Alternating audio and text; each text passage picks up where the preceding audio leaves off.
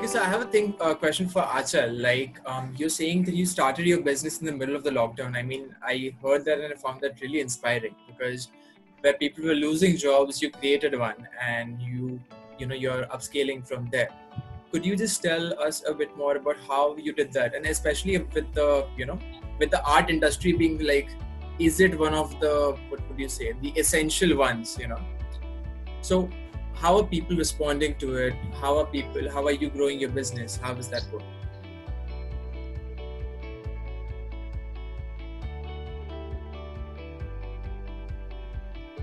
uh, yes so uh, initially my aim of reaching out to people was that i'll conduct as many workshops as i can. And uh, before lockdown it was mostly uh, physical workshops that i wanted to conduct. Uh, but because this lockdown happened i resorted to zoom. So uh, my first steps was just you know uh, i think uh, what i feel what it takes is one good painting one good workshop and just you know one one of each thing. So that's how i started. I started creating uh, whatever i like for example sketching or painting. And uh, then I started advertising on Insta. Everything was uh, through Instagram. Uh, I contacted a lot of uh, art communities and everything. Uh, I I decided to be a part of those art community to see that you know how those guys are doing.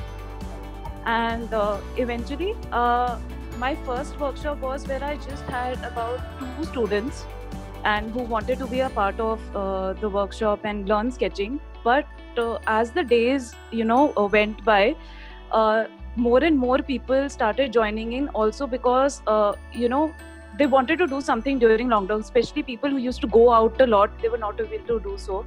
And uh, my aim was that you know this is definitely a therapy. If you are feeling a lot of uh, tension and you want to let it let it go i know there is netflix there is uh, there is prime that you can resort to you know but uh, in order to feel more productive uh, uh, you know you should join in for these workshops. So that's how i think uh, people started uh, joining it. And again i decided that i'll be consistent with it and not just you know just have one one workshop and just go away. So i kept on doing every saturday and sunday. Uh, these were kids workshops as well as for the adults. So uh, that is how you know it just kept on happening happening one after the other. And with respect to uh, selling my work on insta uh, I so I'm really fond of dogs. So I decided, you know, I'll uh, paint something like I'll, ha- I'll have a dog painting or something. And once I did that, I realized that you know I am uh, I really enjoy doing it, and there are a lot. There is a huge market for people who have pets and would like to get a pet portrait. So I think okay. that was the yeah that. So I have one painting with me. So uh, I love your dogs. Is, they're amazing. Yeah, I saw. Oh my god. An- Anchal, Anchal, Anchal. Yeah. See, okay. Now that you like uh, painting dogs ka photos, okay? So we have not started have taking photos, but I'll definitely share once we'll officially start clicking the photos. बुलाओ इसको मिले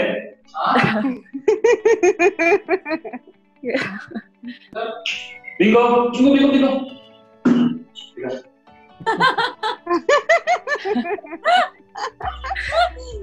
so not now, not now, but afterwards.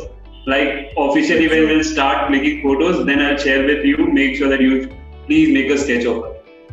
Oh yeah. Okay? this is going to be how our last yeah. selfie is going to look like. I so regret not having a dog right now. I so regret it. I want a dog right now marketing opportunity? marketing opportunity the round table is very inclusive. We have dogs as well. Yes call her dog her name, her name is bingo. Call her bingo. We don't consider animals as possessive okay. Yeah so uh, i think that was a stepping stone. And now apart from that i do a lot of landscapes as well. So every so i had a i have a lot of orders where people wanted something for their new house or they're shifting to a new place.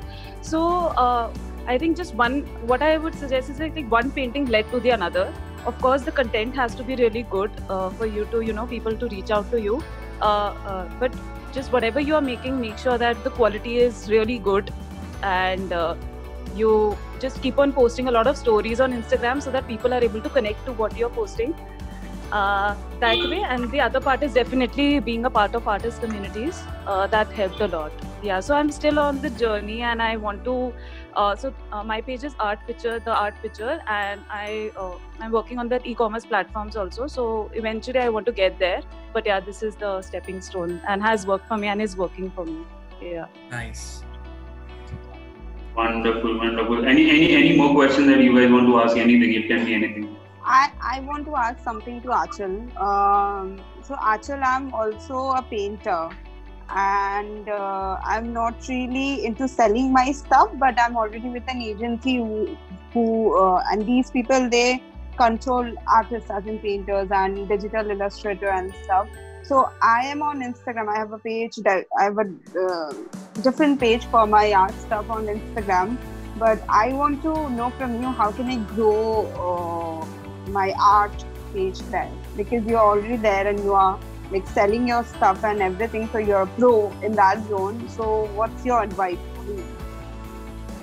Uh, so yes, so uh, even you know uh, when I started it, uh, I didn't know that you know it would happen and i hmm. see again as i mentioned in the beginning of the podcast that you know there was people with uh, thousands and thousands of followers and i was thinking like you know how will i get there and how will i end up selling my work but uh, uh, what i have learned is that i need to be consistent it's like why would someone follow me right why would someone like to buy my work or watch what i'm doing if i'm consistent mm-hmm. with what i'm doing so uh, yeah. consistency has played a big role uh, you know uh, whatever you're doing at the moment if you want to be portrayed as an artist you should uh, provide something to the public. So for example even if it's like once a week or twice a week you just keep posting it on a regular basis. So uh, yeah. Uh, that is one thing. And uh, i think engaging with a lot of audience uh, so for example you would want people to watch out your work but you should also you know be receptive of what others are doing so you should engage with them, have a chat with them, communicate with them. And uh, thirdly, uh, I know you're not into selling, but just in case, you know, if you want to uh, sell something or reach out to people. So, for example, if if if one person contacts you, you should always treat that person as uh, you know the only uh, audience that you have. So basically, treat every everyone uh, you know with a lot of attention so because you might reach a point because that that one person will give you five more people.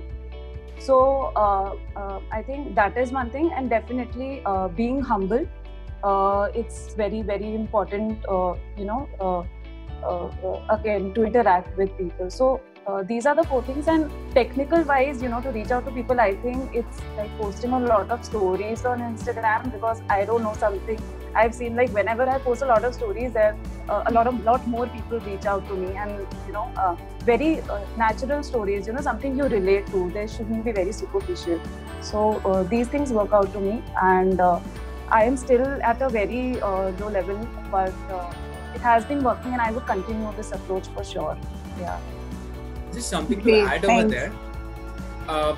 The, the one difference that is there between Shatabdi and Aachal is Shatabdi makes uh, art that is more like modern, towards modern art, if I'm using the right words. Uh, I, am not sure if I'm, using, I'm yeah, not sure if I'm using the right words. Yeah, it's more parallel or it's more abstract to the way I see it. Abstract. So, so for someone like me or for someone else to understand it, I would find Aachal's work more easy to receive as as compared yeah. to what what Shatabdi has made. So maybe if Shatabdi could have a little more of stories as captions, you know, as to what what she's depicting in, into the picture, or you know, uh, what is the picture a product of, or what kind of thoughts, or something that leads to that sort of an image, so that people find that image more relatable. And secondly, as Aachal said, maybe you could find more uh, artistic communities that are into the similar sort of, uh, of art so that you you can tap your audience better and maybe even just start selling at this point as well because i believe people are getting a ton of crazy abstract thoughts and if someone can put that into a hmm. painting yeah. so uh, a friend of mine has been doing that and she started this uh, i think just uh, last month if i'm not wrong or like end of june um, she started this uh, she started uh, uploading her paintings onto her art page. And what she does because hers is very abstract and uh, she just adds a little description to it as to see even if it's one word so she says uh, chaotic buildings. And then you can see you can imagine chaotic buildings in her art. So this is what she was thinking. This is what her thought process was when she was doing that. Or this is her description of a chaotic city or of a mm. chaotic whatever. So that was the term that she used. And it just um it's also it sort of connects to you and you just um that's how she literally in one month i think uh, she's got about 2000 followers already. Mm. so she's been uploading a lot of her stuff and she paints regularly. So she she doesn't think about what will sell or what will not sell. She just uploads it to her uh, page and it, it's doing fabulous. I think um, just putting it out there. You know, a lot of times we think, I don't know if people are gonna like it. I don't know if I want to put it out there. Um, just put it. I mean, people just yeah. want more content. People want to see if one person does not relate to it, the other one will. Yeah, yeah. You, I mean, it's, yeah, it's, you should be passionate about like you know you should mm. actually believe in what you're making, and you should be passionate about that. And if you're worried about selling it, uh, then again, you know you, your in fact your instagram feed should be less of chaotic in that sense. Like uh, clear on you know what you're posting so that uh, uh, you know artists around you will relate to it. But the audience who are not you know who are not there and would want to see your work they would want something you know they can immediately connect to as monica mentioned so uh, it's either it should have a title or it should be a bit clear, a bit organized. Your feed should be a bit organized. That's what. Yeah, I, I think that makes a lot of difference. Yeah, having a pattern to your feed, having it, it just makes someone feel that you're putting in an effort, um, or that you know it's pleasing to the eye. And I want to look at your feed. I want to look at more stuff on your feed, uh, on your feed. Um, so I think that also does make a huge difference yeah and i mean although she has like a lot of technique and everything into her artwork and paintings uh, it's more about when you see her paintings it's more about resonating with the thought process than resonating with the actual art. Agreed. Yeah agreed. Absolutely.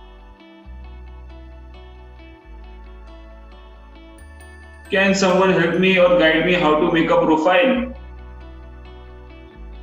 As an artist as an artist uh, anchor ka anchors ka because surprisingly, I've started getting uh, now calls and uh, queries for events over Zoom as well. And they're asking me for profiles. I share the Instagram ID, but I have no idea how to make a profile. But probably Chirag or Shatabdi or okay. even AJ, Virali, so, anyone can just give me an idea. Yes. Vijay, Vijay, what I feel is um, if you are starting with an ID, like right now, you know, it's very difficult for people who are starting right now on Instagram, it was much easier uh, to be on Instagram uh, a couple of years back.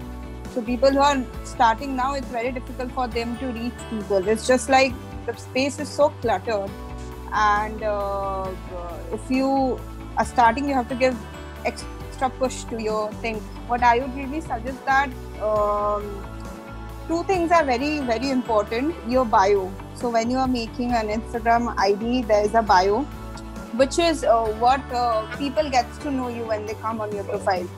First, you need to have a really interesting bio, whatever your profession be. Second, you need to have a really nice profile picture because that's the first thing that people gonna be attracted to, you know.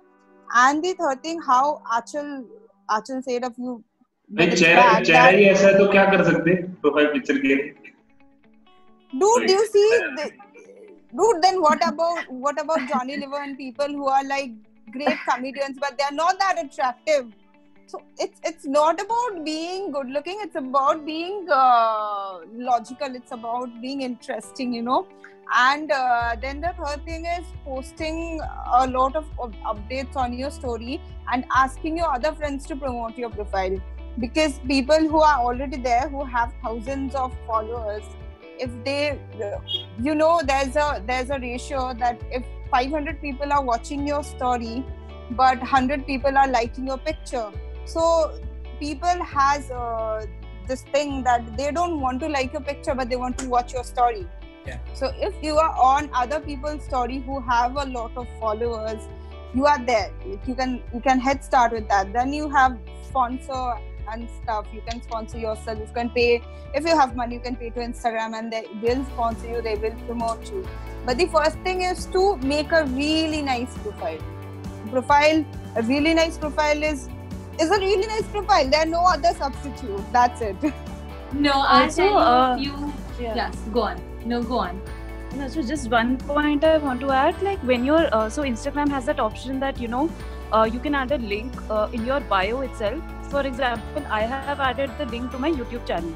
But for example for you it could be anything. So uh, basically a document sort of a thing where you can since you're an anchor you can list down whatever you have done whatever number of shows you have done. Because since you're starting with instagram doing posting everything in one post would be difficult for you.